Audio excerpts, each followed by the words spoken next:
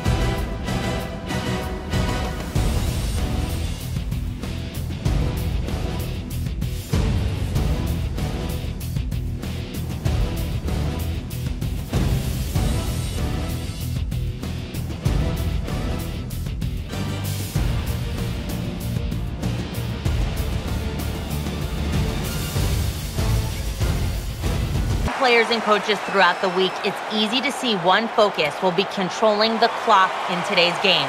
They want to win the time of possession battle, and they want to win it decisively, guys. If they can control the pace of the game, they feel like there's no reason they can't win it today. Guys, back to you. Danielle, thank you very much. Now we'll go to the field. Bills ready to boot this one down the field.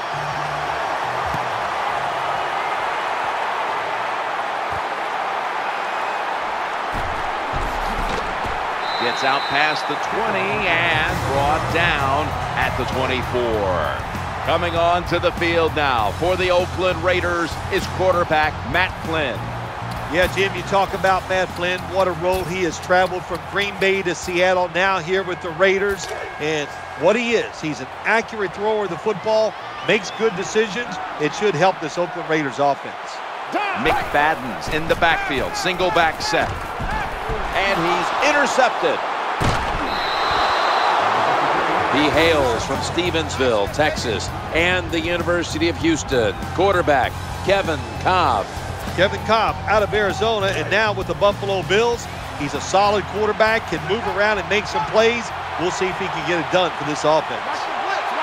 Nickel formation for the defense here. First and 10. They hand it off to the running back. Tackles made.